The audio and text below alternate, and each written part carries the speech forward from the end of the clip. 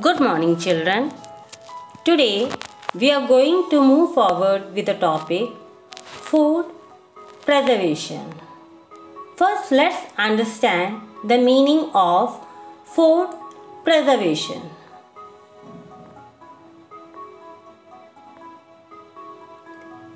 It is the processing of food to prevent their spoilage and to retain their nutritive value for long periods.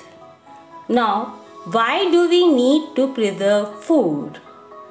We need to preserve food because most food items start rotting after some time if not consumed.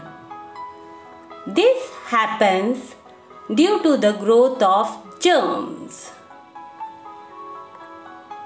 Germs need air, water, and warmth to grow.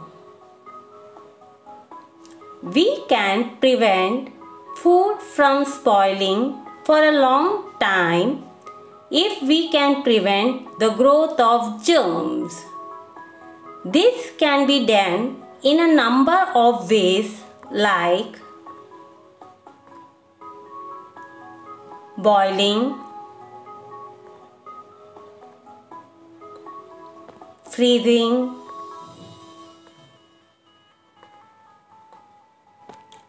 drying,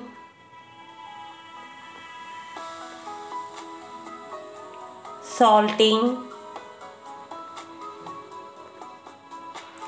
sweetening, and canning. That's all for today's learning. Thank you.